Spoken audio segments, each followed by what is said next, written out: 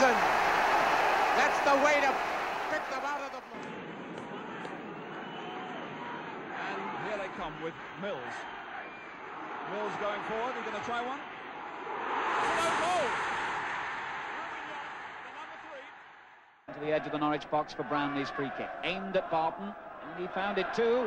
Oh, and there was almost fatal indecision, and there is fatal indecision, which has given Newcastle a goal they could hardly have expected.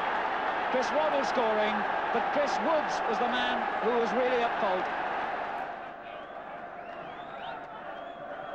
Another good corner, and it came off the head of Dave Watson, and that's the equaliser for Norwich City. Ten minutes to go. 1-1, Clive Woods for Norwich. Oh, so easily round Brownlie.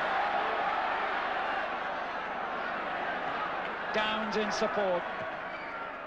Jack. What a superb goal by Ross Jack.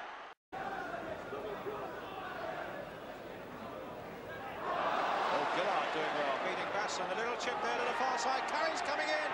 Oh, yes,